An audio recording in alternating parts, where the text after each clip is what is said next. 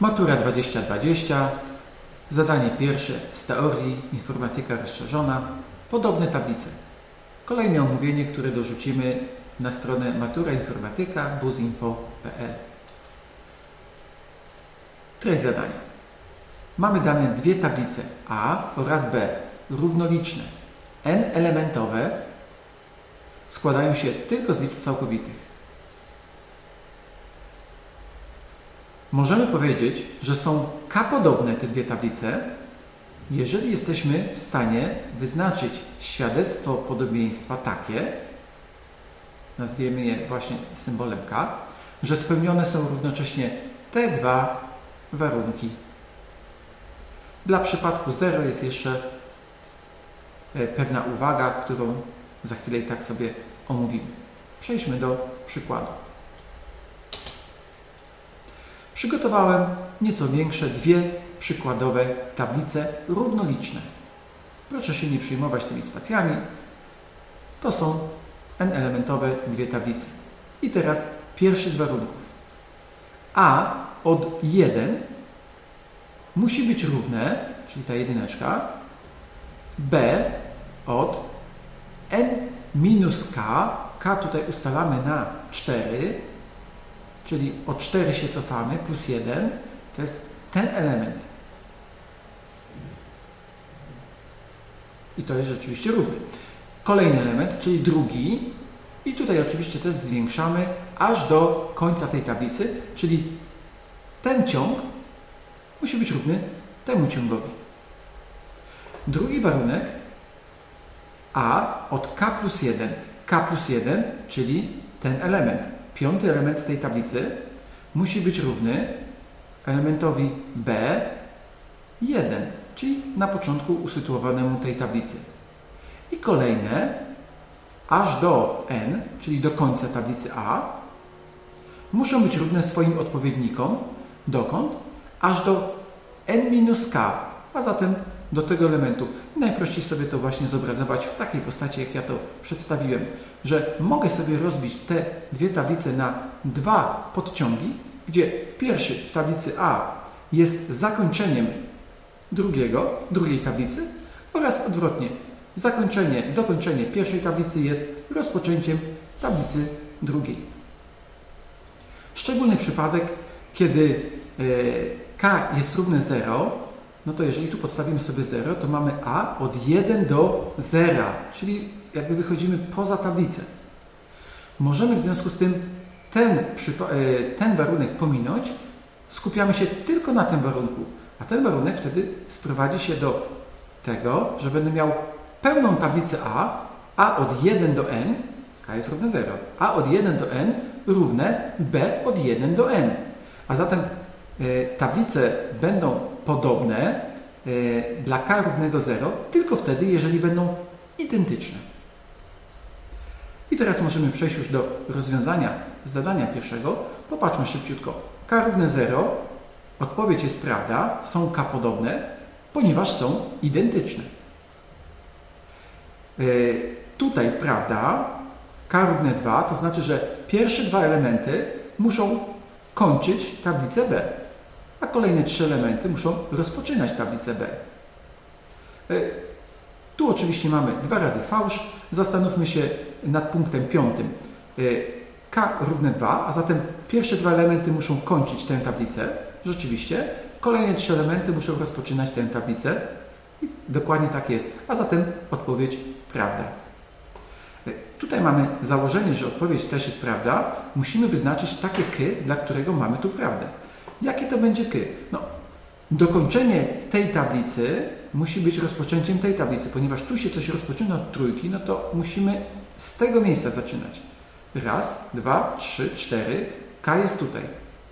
Czyli K równe 4. To dokończenie, to jest to rozpoczęcie. I kontynuacja. To dokończenie, yy, coś mi nie wyszło, o, to rozpoczęcie, to jest to dokończenie. K równe 4.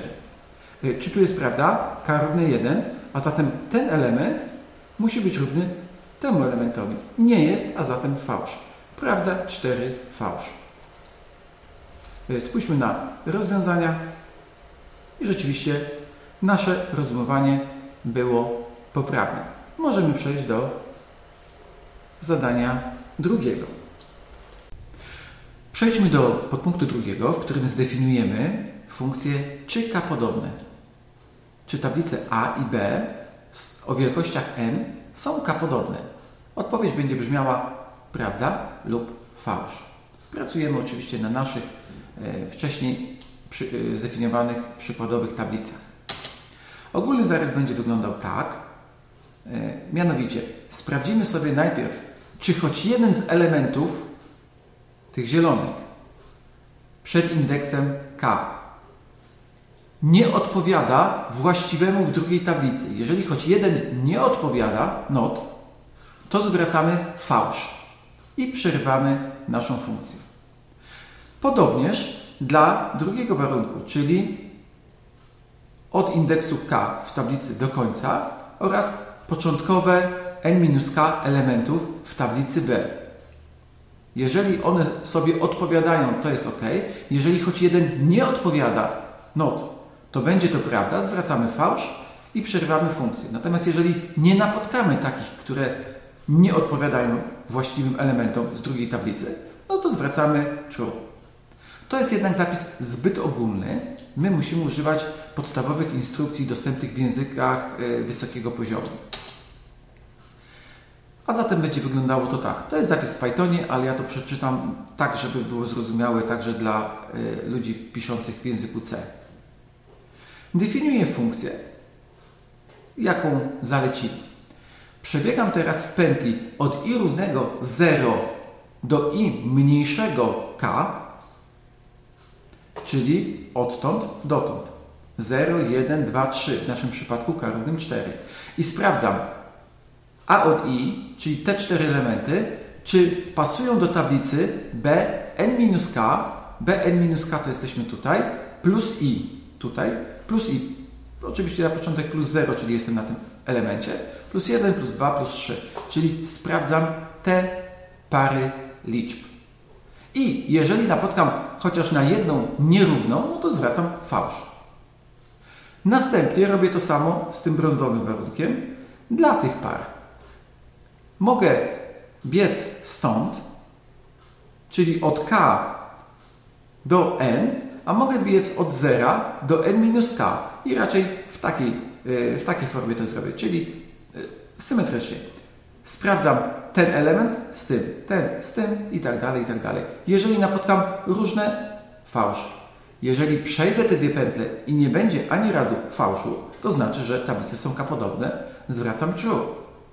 Jeżeli ktoś by chciał bardzo wprost zastosować tę definicję, y, no to ta druga pętla mogłaby wyglądać tak.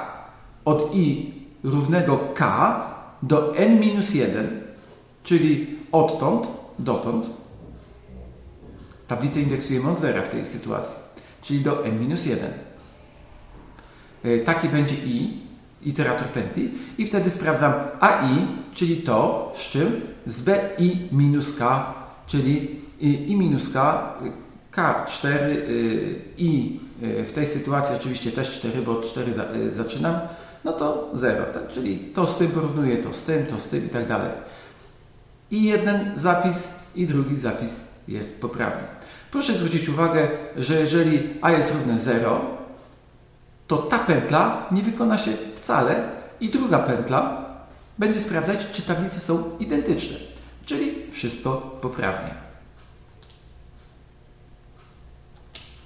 I zadanie ostatnie, podpunkt trzeci, należy zdefiniować taką funkcję, która odpowie czy istnieje takie k, dla których dwie tablice są podobne?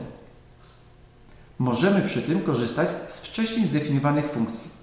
I tak właśnie zrobiliśmy. Definiujemy funkcję, czy są dwie tablice podobne o wielkościach n, tablice A i B. I teraz trzeba sprawdzić wszystkie k, wszystkie e, k od 0 aż do n mniej 1, czy w takiej sytuacji te tablice będą K podobne. No i tak robię. Dla K w przedziale od 0 do n mniej 1 wywołuję wcześniej zdefiniowaną funkcję, I po kolei będę podstawiał co? n jest stałe, a i b to są ciągle te same tablice, a tu będę podstawiał kolejne y, podobieństwa. Od 0 do n mniej 1. Jeżeli choć jedno będzie prawdziwe, to znaczy, że istnieje takie k, dla których tablice są podobne, zwracam prawdę. Jeśli nie znajdę żadnego, zwracam fałsz. Jak widać, ostatnie zadanie było najprostsze. I tym optymistycznym akcentem kończymy zadanie pierwsze z teorii 2020 tablice podobne.